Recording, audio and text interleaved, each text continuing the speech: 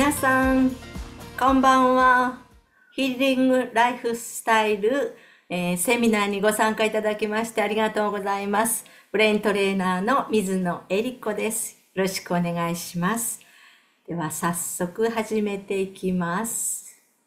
エリリンの人生120年を健康で明るく元気に過ごすためにというテーマで今日は第5回目になります。看護師が伝える変形性腰椎症ですね。これについてお話をしていきたいと思います。はい。では、変形性腰痛症とはどんなことなのか見てみましょうか。腰の骨や椎間板が変形することにより腰や足の痛みや痺れなどが生じる疾患となっていますね。もう少し詳しく見てみましょうか。私たちの背骨は、この首の頸骨のところから胸椎、そして、えー、腰椎とあるんですが、この骨一個一個は円柱になってますが、これを椎体というふうに言いますよね。この骨と骨の間に、えー、クッションの役割を果たしたり、こう、動くことが、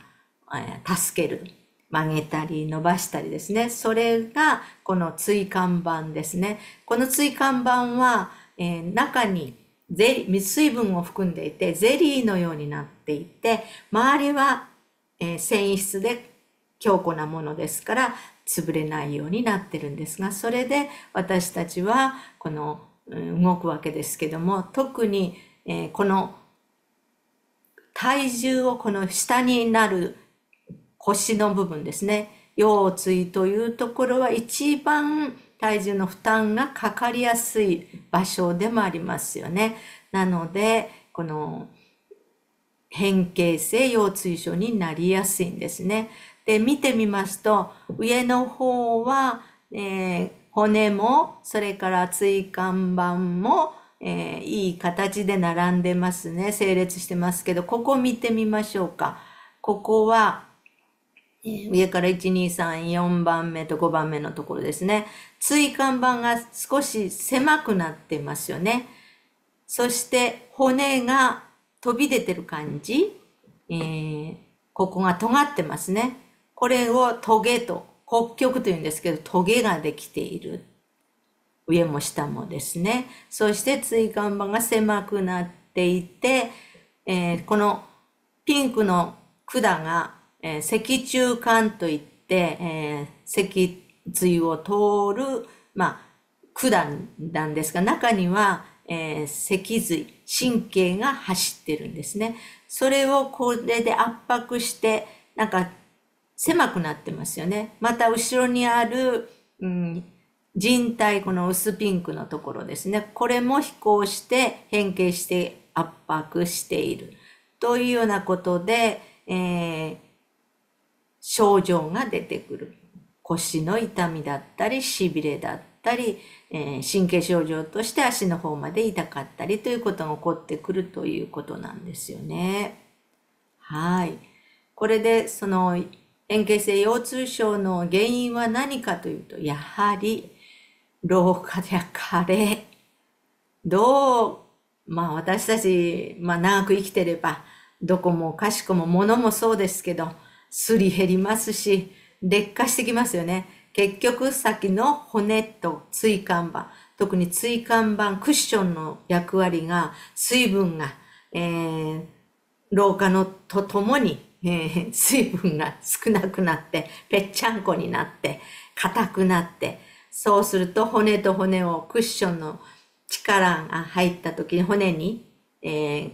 力が加わった時に、その干渉役になることができないので、骨と骨がすれたりして、また変形してきますよね。このような変形や、まあ、劣化、いい方じゃなくて劣化していくことで、この症状、原因があるわけですね。これ悪化させるのはやはり、えー、重労働。まあ、男性に多いと言われてるんですけども、やっぱり肉体労働、腰を使う。そんな方や、またあの、スポーツで野球選手と腰をよく使うスポーツをされている方、また、ちょっと肥満の方、要するに腰に全体重、上半身の全体重がガッと乗りますから、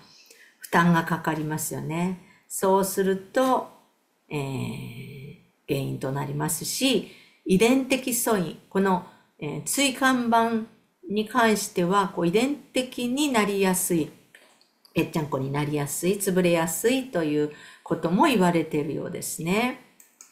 で、症状はどんな感じかというと、やはり腰回りの痛み、まあ、ひどくなるとお尻も痛いし、太ももやふくらはぎまで痛くなることがありますね。で、また腰回りのだるさとか、なんとなく重苦しい感じ、張った感じ、また足までのしびれが出てきたりしますね。これ、えー、レントゲン写真ですね。レントゲン撮影の写真、えー、正面と、えー、側面を、えー、見てみましょうか。これは実は私の写真なんですけどね、6年前になんとなく腰の重い感じ、足先が痺れている感じ、左側なんですけどね、そして、えー、冷たさ、温度が、皮膚温が違う、えー、足の甲が、なんか左側が冷たいなという感じがあって、どうなんでしょうと言って、えー、レントゲンを取っていただいたんですね。そうすると、やはり、腰の下の方がなんとなく、ね、くっついてるような感じがする。ここは隙間がありますよね、これきちっと。でもこの下の方に来ると、なんとなくわかりづらい。側面で指さして、この辺だよと先生が教えてくれたと思うんですが、まあ、もう少し詳細に調べてみましょうということで、これが MRI の写真ですね。その断面図で見ると、わかりやすいですよね。この上の方の骨、椎骨はきちっとと並んで、この椎間板も、まあ、水を、水が、みずみずしい、ちゃんと膨らんだ、えー、椎間板がありますね。でも、ここへ来ると、なんか、骨が少しとんがっている感じと、えー、この椎間板が外へ漏れてるのかなっていうような感じで、この先ほど模型図で見ましたように、脊柱管、ここでちょっと狭まってる感じがしますよね。それで受けた診断が、えー、まあ、変形性腰痛症なんですけど、えー、脊柱管狭窄があるということと、ヘルニア、この椎間板のゼリー状のものがこう、外へ出て、ヘルニアになってると言われました。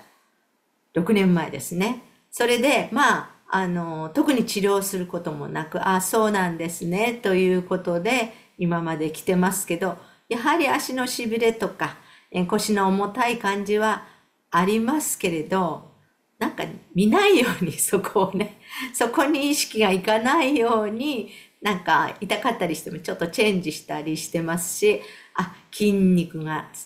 ちょっと弱くなってるなっていうことで、あの、筋トレなんかを今していますね。はい。ご視聴ありがとうございます。続きはヒルズウォッチで配信中。気になる方はぜひ概要欄をチェックしてください。チャンネル登録、